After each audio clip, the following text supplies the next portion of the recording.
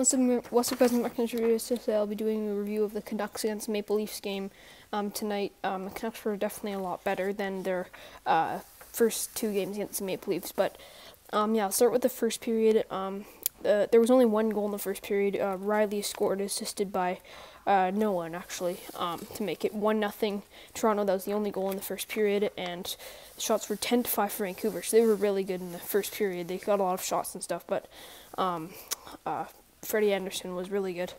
Um, and uh, Hoglander got hit in the face with a puck, but he did return in the uh, second period, and Andersen did make a really good um, save with his pad in the first period. Um, and then in the second period, there was one goal again only. Um, this, I think, was the Canucks' best period of like probably the entire road trip to me. Um, uh, even though they only had one goal, um, they were still really good. Uh, and uh, yeah, so oh, I, don't know if I said the shots in the first period, but it was 10 to 5 for Vancouver. And then in the second period, um, the only goal was 9:59 in. Um, Pettersson scored, assisted by Hughes and Boeser on the power play. So um, that was exciting for the Canucks, and that uh, tied the game up. But Andersen was really good. Like they easily could have scored like two or three goals in the second period, but Andersen stopped them. Um, they only scored one. So uh, the shots were 17 to for Vancouver in the second period. That's like crazy.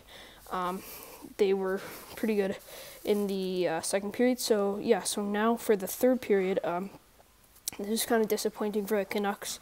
Um, the first goal was 9:22 in. Matthews scored, assisted by Marner and Sandin.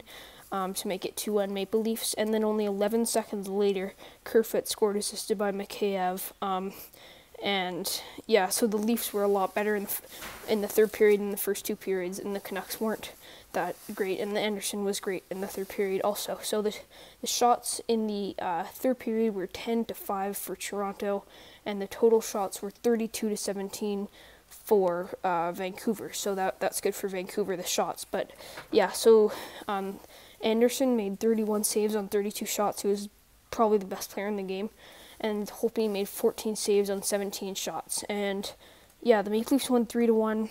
Um, but uh, yeah, that'll be that'll be it for this video. Be sure to like and subscribe. Thanks for watching.